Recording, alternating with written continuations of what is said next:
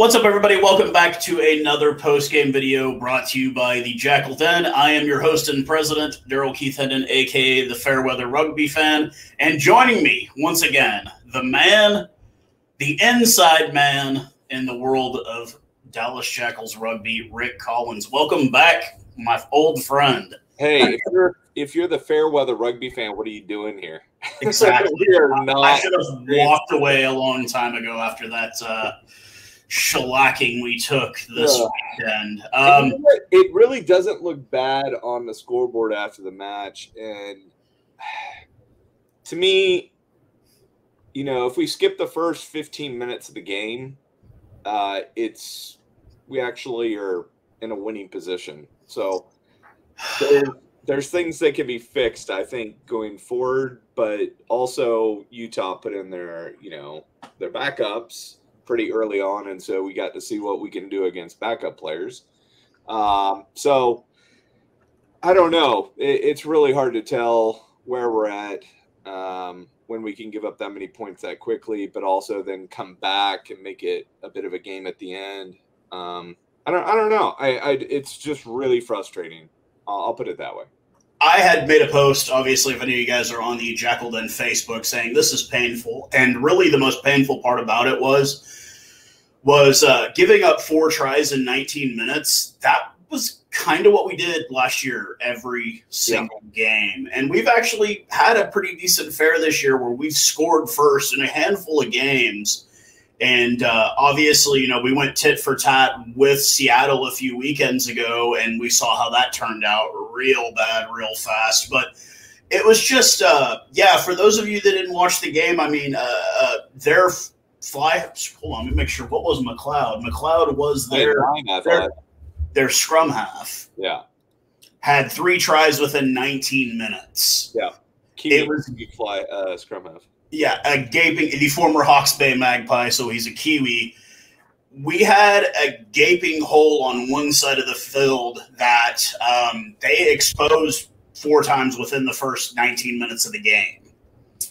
Um, I, for me personally, and you're a coach, Rick. I mean, when you give up that much, at what point are you like, are you doing it at 14 down? Are you doing it at 21 down? Are you making adjustments immediately? Or are you, are you, because I mean, 19 minutes into the game and you're down 28. Yeah, the hardest part is you have to accept that you've you've failed as a coach because you've got to put players in the right position to win and you know in this case i you know, you can't blame the players if they're just not able to to meet the requirements of the match. Um, and and part of that is at halftime you make the adjustment. Then I would think. I mean, it sounds like you made it a little bit earlier than that, but um, you know, it's really hard when you give up that many tries that quickly. You know, are you going to wait because you've got players on the bench that now, if there's an injury late, you know, are you short? You're going to go out there with 14. So, I mean, it's it's a coaching failure to get to that, that point where you're giving up that many tries that quickly, and then you're going to need to, you know, send in reserves early. Uh, so, you know, the team that came out at halftime was a different team than was out there in the first half. Um, the mono try was uh, well run by them in the second half, but um, we we had I would say most of the possession in the second half, and I think part of probably why. And I haven't gotten to see the replay of the first half because I I had to miss it um, uh, for some family stuff. Um, I think what I'll see when I watch it is that um, we're we're giving up uh, space on the field as we have been the entire season, and then we're we're not able to kind of adjust for that in game. And one of the things that this team has struggled to do, I think, is just get the right people out there, the right combination of players out there. Um, we've talked about different positions and you know players that we think should be out there, but um, you know, no, nothing's really worked this year. And we've played some decent matches, but there's not one time where I thought, wow, our, our especially on attack, that our attack looks dynamic, looks like, you know, they have um, not skill set, but they have kind of the playmaker mentality, right? It feels like we're just missing that piece um, that makes a difference between a you know a team that's right now on a on a big losing streak um, versus a team you know like let's say um, uh, Utah or Seattle or San Diego that you know you can just tell you say they know what they're doing they get out there they know what the their um, opponent struggles with they take advantage and not only that but they they stomp on their throat they don't let you get away with anything so I just think that's where we're at right now, and I don't know that that changes before the end of the season. And the coaches have basically said, "Hey, this is where we're at. Um, we are going to see Kubii, uh, but it's going to be very late and not really. I mean, I don't know if it's worth our time at this point to even put him out there, um, unless we've got him on a multi-year contract and he's going to stick around. He's going to be here for maybe a match or two. I don't know. Well, the big news coming out today, obviously, that Sam Golla has signed for another year here with the Jackals, which obviously uh, we we have said from the offset from the scrimmage game. I mean, he stood out like a sore. Th- it was uh, awesome to watch him line up against the likes of Cam Dolan and look like Cam Dolan was really nothing to him. And you know, like we said, coming into the season, it was like he's a flanker. He's a flanker. Uh, he has come into the lock position and completely dominated at it. And obviously, I think that's going to lead to a cap. He, I think he does make the squad. Personally, that's just my personal opinion. Um, it's a position you know, where we don't have a lot of youth depth. There's a lot of older guys in the lock position for us that have been, you know, on this USA squad for, you know, 8, 10, 12 years. And so guys like Greg Peterson and, you know, Dolan are aging out. Um, uh, Mahoney is not a, a, young bird. So there's a lot of guys who are starting to age out there at, at lock for us. And, you know, I, I think he's going to be a, a, great addition to the Eagles squad. I, I agree. I think he makes the team. I, I, think we see him in four years in Australia. No question. Uh, he will be at the next World Cup. Will he be hoping at that time? What's that? Will he be playing for the Jackals at that time?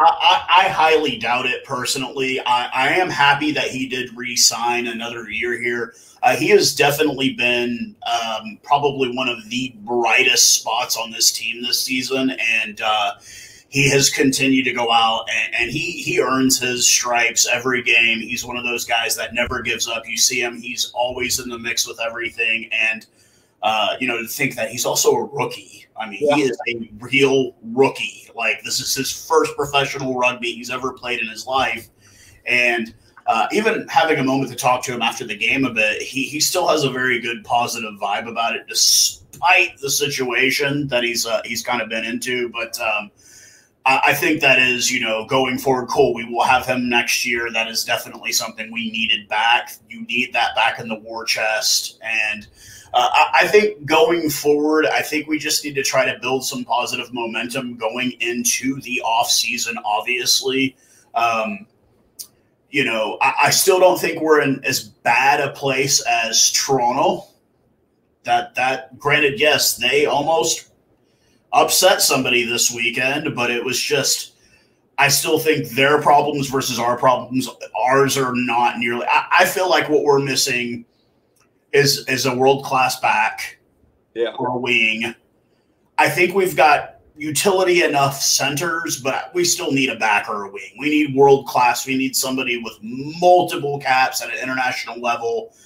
Uh, you know, a Christian Dyer type guy, perhaps, or something like that. But that's just we. To me, we lack size and strength at wing and at fullback. And we've seen, I mean, they're putting Satama out there at wing quite often because they want somebody who's a little bit bigger who's going to defend on the wing. And I don't, um, I don't dislike that. It's it's not perfect. I think obviously if you had a Dyer or a Mooneyham or somebody like that, that would be amazing. Uh, but we just we don't, and I don't think anything is changing before the end of the season. I think what we need to start thinking about is like, what is this team going to look like next year? Um, we're going to have a few draft picks. Are are we going to keep draft picks? Are we going to do what we've been doing with with picks with unfortunately with American and Canadian players, which is just trade them for international slots or for you know money. I I don't have a confident um, belief that you know going forward we're going to really invest in American Canadian talent, um, especially through the draft and um, obviously through local you know uh, recruiting, which hasn't happened in the last you know year and a half almost. So it, it is what it is at this point. Um, are we going to lose players to Miami? Uh, that's still to be uh, determined, but uh, you know it wouldn't be surprising. So, well, at least we won't lose Sam Golla. We've got Sam for another year unless he gets a big contract somewhere else. Um, I don't think it's going to happen. I think we will have Sam next year. I think it's going to be the year after where we're going to see he's going to get some offers. He has another amazing year with the Jackals and MLR, and you know maybe even gets beefier and and stronger. Um, he's going to get abroad in Europe for sure. Yeah, he um, it's kind of one of those things. You know, we we were at the trainings last week. We saw what was going on. We we both talked in length with the general manager and with the coaching staff, and I felt like it was a very positive meeting for the most part. But I f- still feel like we got some questions answered, but we had a lot more. I felt like leaving, I had a lot more than what I walked in with. And I don't know if you, obviously, you nodding your head, you agree with me that we both had I had more questions walking away than I had walking in. More Dallas Jackals, more questions than answers. Um, I think that you know the biggest question is what what is the goal of this franchise? Is it to win MLR games? Is it to develop American Canadian talent? Um, I I don't know right now. I mean, it feels like um, my honest perception is that it feels like an Argentine uh, development side right? And we're just developing. We're we're a place for players to you know develop outside of Pampas and Dogos. So is is that going to change? I don't think so. Not when you have uh, ownership group that is now partially made up of Argentines, a GM who's Argentinian, and coaches that are Argentinian.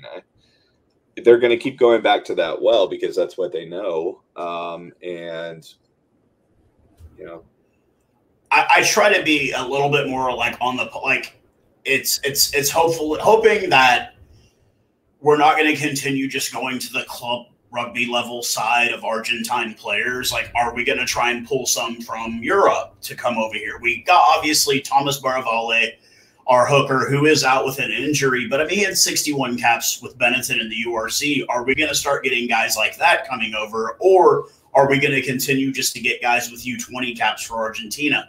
If that's the case going forward, I, I can pretty much tell you that the results will stay the same. We're going to have to get some guys with substantial caps at a higher level than MLR. At a professional, at a high level professional level. rugby, if I think, you know, like it makes me really like, as much as last season was bad, we had somebody like Chris Pennell mm-hmm. who had what th- 200 some odd caps in the yeah. premiership. Now, was he at his best here? No, he was at the end of his career. But honestly, I would kill for a Chris Pennell right now. Yeah, there the leadership thing is definitely interesting. The you know our our main leader is Vara, and he's 25, 26, um, you know, it's not terrible to have a young guy as your as your captain, but I prefer the 25, 26 year old with 20 international caps for the Pumas um, rather than a guy that's just done U20, hasn't. I mean, he's a guy that the expectation is he will place, you know, some for Pumas and probably is currently in the pool to play uh, for Pumas, but you know, hasn't gotten those caps. Um, I want I want I would like, as you say, and I, you know, I don't. It doesn't have to be um, a guy like Pennell who's much older, but somebody who, who has significant number of international caps uh, for their country, and um, you know, kind of has a lot of experience at a professional club level. So not somebody who's coming from you know Del Rosario or wherever in Argentina that's just club rugby. And it, don't get me wrong, their club rugby is probably better than our MLR right now.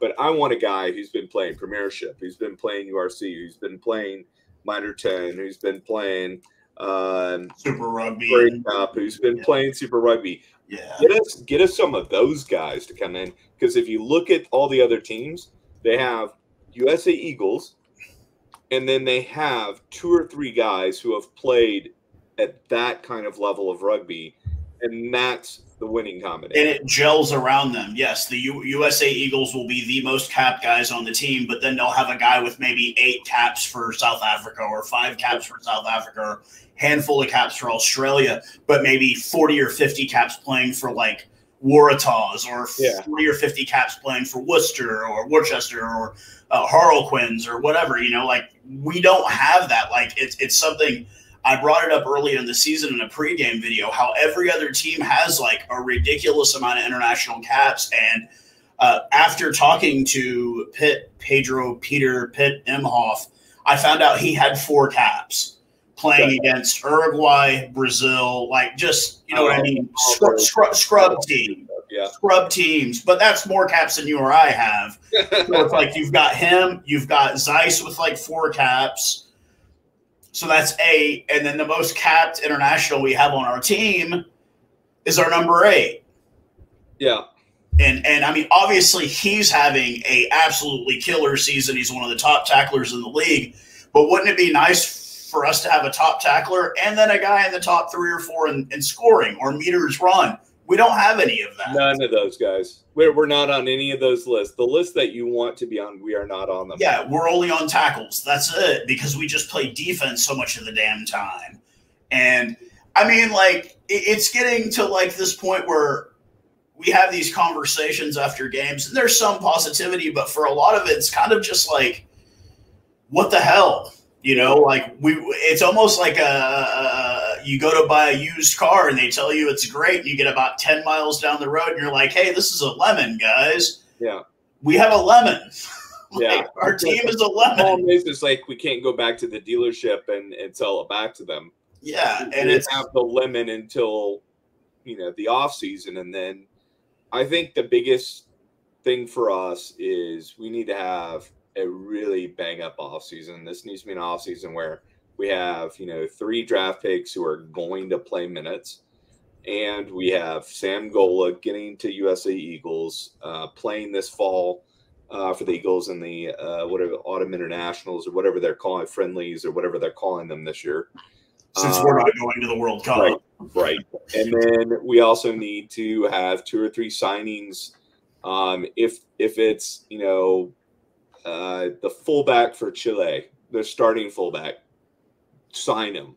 If it's you know a lightly used wing for um, Bristol, sign him. Like those are the signings we need to have come in. Guys that are playing at high level of rugby, who are playing internet somewhat internationally. Um, at least player pool for England or something like that, right? I mean, we just need guys that are playing high level rugby to come in bringing in U twenty guys is great, but the just the experience of of knowing what to do in the moment just isn't there for this team, and you can just tell there's there the that you know Bodine Waka.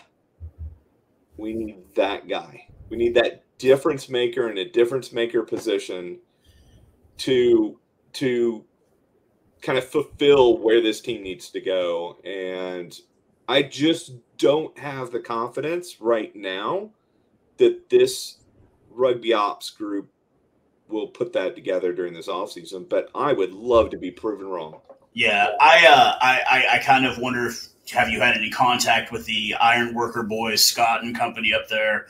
I'm pretty sure they're pretty piff, ticked off with Waka coming back to yeah. England. Um, I, I think that blows that that complete division completely over right there. Uh, although I still, uh, I'll stick yeah, with playoffs. Anything can happen. I think it gel. I mean, I think you know New England. I think San Diego's basically nailed down the top spot in the West. New England will more than likely win the East. I think it's going to come down to playoffs. uh, who's you know you just don't know what's going to happen. Seattle could beat San Diego. Have you have you gotten to watch the Seattle versus Houston game yet? I watched a little bit of it, and they, they are clinical, man. Yet, but Houston played great in the first half, and apparently not so good in the second. Seattle half. Seattle was clinical in the second half, and a lot of it was led from the back by uh, by Adrian. He has really gelled with that team. His style of play fits yeah. them to a T. Yeah. They let him be a quarterback. They let him run the show from the back and they let him do his thing. He doesn't have to do it all by himself either. Yeah, yeah, he's got a lot of talent to in uh, front of him help him do it. So it's it's really disappointing to see a guy like that go and then do what he's doing. Um, I love it for him, but it's it's terrible for us. Um, yeah. Obviously, you know, having a playmaker, what he did last year offensively for us was uh, pretty magical at times we had some matches where it was like we should not be in this match at all. And he kept us in them. And he kept us in them. I get it. He had kicking issues, but outside of like kicking conversion issues, he had that. But like everything else about him, he could run the he could run the engine room. He could be in the engine room running it.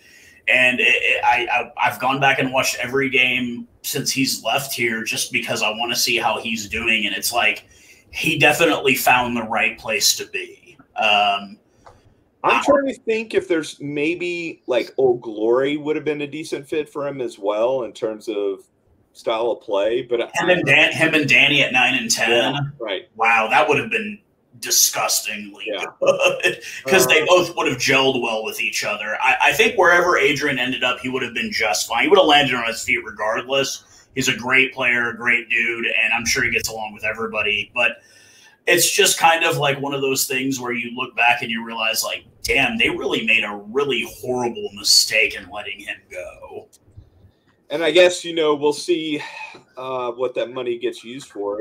Did it get used for this season? Was that the money we sent for Kubia to to come up here for two matches? That would be really disappointing if that's the case, uh, because that unless Kubia is on a multi-year deal, um, I mean, he's going to be the most skilled player we have, I think, if he gets here. what is? I don't even really know what his bat. Has he just been playing? He's so he's been yeah Juarez for three or four seasons. He's been up with Pumas uh, as one of their centers. Um, so he's a, he's a player that is probably a, a step or two ahead of uh, Vara in terms of playing Pumas. Like I think the expectation is he's going to be maybe a starter in the next year or two. Oh wow, that would be really nice to have somebody like that. Obviously, um, but we just have to remain. We'll see what happens with what happens. Obviously, we have an early game this next week. Uh, 11 a.m. kickoff from the. Do they call it the Viper Den? Uh oh, I don't think they used a a, a snake term anymore because it used to be the the the snake pit or something like that. Yeah and uh, they've gone away from the whole snake ideology thing. Um, I'll have to look it up, but well, it's got, any, yeah. it's got like some uh, um, uh, sponsor now is is sponsoring their field. Did you get it? You obviously saw the the post from the Dallas Jackals on Facebook. The big D goes into the big peach. Um, little tongue in cheek there. I thought, hey man, you know, like, uh, what have you got to lose at this point? Be as vulgar as you want. Um, I I'm wondering what we get when we get to Atlanta, how our boys are going to do, what the weather's going to be like. Obviously, these are all factors. We've got two on the road. We're not back at Choctaw until like the 10th of next month. Yeah. So we're on the road for a bit. We got two on the road and then a bye week, and then we're back. Yeah, I think the bye week's in between the two matches on the road. So we we have ATL, then we have bye, then we have New York, and then we have the two home matches. Uh, we've got uh, yeah, it's going to be an interesting little run there to finish out the season. And hopefully, like I said, get some momentum. I don't know if it's going to happen. I would like it to. If it does, cool. If it doesn't, I, I wouldn't be 100% hey, shocked either. ATL looks uh, weak right now, at least based on what we saw with uh, them getting a tie against Toronto. Now they scored a bunch, but their defense looked leaky. So Um, you know, I think one of the things for this club is we've got to get out early. We've got to get a couple of tries in the first half minimum, and then we've got to let our defense kind of just slow things down in, in the second half. You saw what we did defensively against Utah in the second half. We dominated. We dominated. We let our defense do their job, and they, you know, and obviously they brought in a lot of their. It didn't help with the two yellow cards either, obviously, yeah. but uh, you know, uh, it, it's almost as if like this team is like a team of two teams. We we on the one side of it, you know, we're really dominant at scrum time, good dominant set piece play, that kind of thing. But then the other side of it is, is it's like we've got more leaks than the British Navy when it comes to our defense in the back. Like it's it's almost like we've got like really really good up front, really really bad in back. Like why are you know like it's not I would give up a little bit of that talent in the front just to have a little bit more in the back because then we could actually it's score. more frustrating this year than last year because this year I feel like we think, okay, we're going to be in quite a few of these matches. We're going to have chances to win matches, and then we're just. It, it's kind of like a team full of rookies. We we're, don't know what to do to win games, right? And last year it was just like, well, we're we're in a different league than everybody else, and that's not the way. last year was when is this going to end? Like when is this going to end? We just need it to be over with. It's just it's a watch of a season. Well, and we just were happy to have a team at that point. It had been five years that we've been told that we were going to have a team, and finally we had a team. So we were just happy to have a team. Now we're hey, the expectations were high. They brought in a, a new sports op group, new business management group, and it just it hadn't worked and we brought in one of the top scrum coaches in the world. And it's made a difference but it hasn't changed us changed the the win loss count at all. And i i i think the league got better. Oh for sure. But not to the level that where we should be where we're at. I don't think it got that much oh, better. oh, and i'm scared because i think next year the league's going to get even better. I think so do i more so that you've already seen what Houston's done and turn it around. Toronto's going to be has to be better than this year. Toronto, it's been a disaster for Toronto this year. Has to be better for them.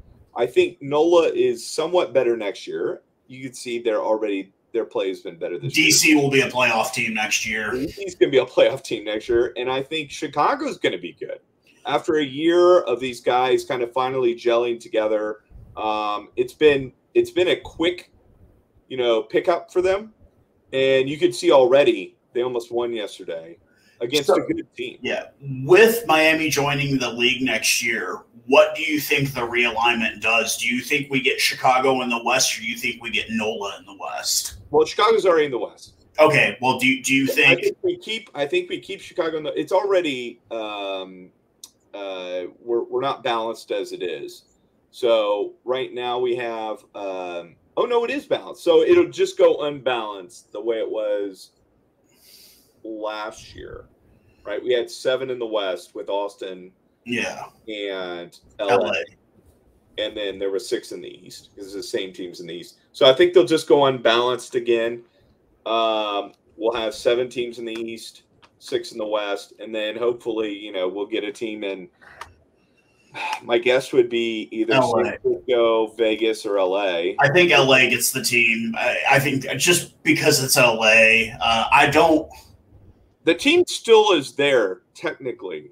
They're just not in operation. So that franchise still exists, but because the sale never went through, it's just in a holding pattern. So somebody could go ahead and basically get in sort of cheap not and and they've talked to uh, they talked to George about this before he stepped down. He said they're not going to get in for free, but I think that you know, wink, wink, nudge, nudge, was that it would be significantly cheaper than trying to create a, a brand and um, club from uh, you know foundation. So somebody I would be surprised if somebody did not buy the LA franchise and restart it with a different name. Unfortunately, I don't see the same for Austin. Uh, yeah. I just don't. I don't. It's look. how many how many times I went down to Austin for five total games over their existence and they, they just didn't really have a lot of fan support. It was just, I mean, obviously in the beginning, because they were so bad, nobody went to their games. Then even once they started having success, you just didn't see a lot of fan support at their game. Like they had fans, but it wasn't like if you took the amount of fans we average in our stadium and put it in theirs, I think it would look fuller than yeah, what oh, they were averaging and it's just I just don't see it happening for Austin. Love the town; it's great, it's fun place to visit. I just don't see it happening for the them biggest, anytime soon. The biggest problem is going to be location to play. It's too expensive to play in in actual Austin. Um, the only option would be playing at a Q2 or like an old high school stadium or something like that. And I don't think they they would want to do that. I, I just don't there's not a very clear path forward for Austin to restart, at least at this point. Now, I think further down the road, once these clubs are worth a lot more, and we see, you know, more of the larger uh, media um, uh, cities, um, you know, having clubs, I think Austin's possible down the road. But I agree with you. I just don't see a path forward at least in the near future.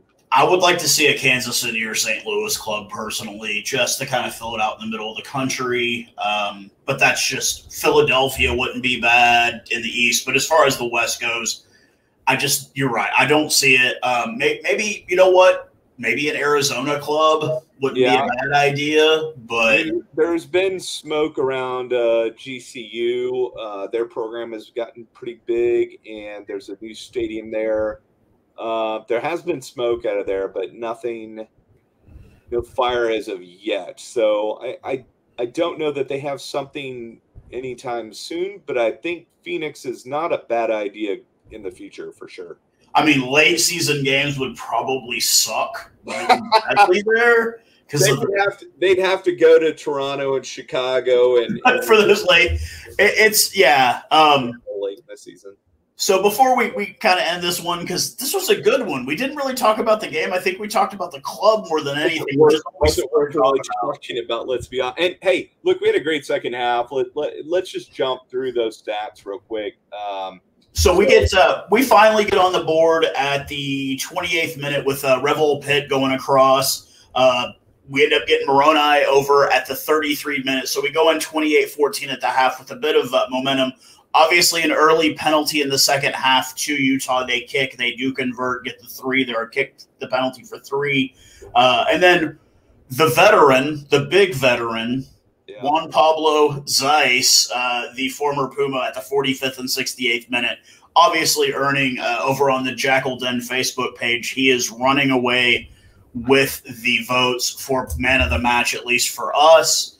Um, I guess the only negative, I've got one other negative thing to say about the game, and I'm going to say this to the Christensen and Shoemaker families who made it all the way out yeah. from Arizona and Utah for these matches, and their kids didn't even get to get on the damn field. That was, to me, that was that was pretty pretty bad. Um, I spoke to both of those families at the end of the game, and, and, they were obviously upset, not just at the result, but also the fact that the kids didn't even get to play. Yeah.